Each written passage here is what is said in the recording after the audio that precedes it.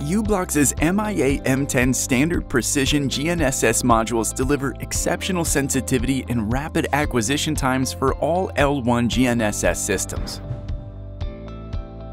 These modules boast a power consumption of less than 25 milliwatts during continuous tracking and power saving modes to ensure maximum operating lifetime for battery-operated devices. With concurrent reception of 4 GNSS, these modules maximize position availability even in challenging environments.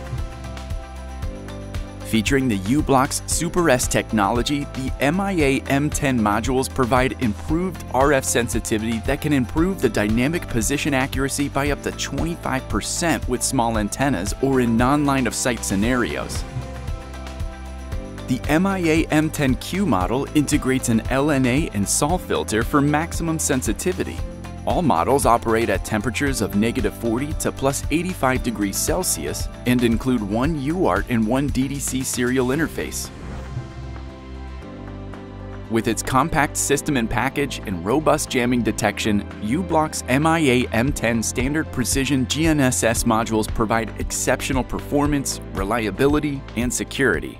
Discover how to optimize your new product designs at Mouser.com.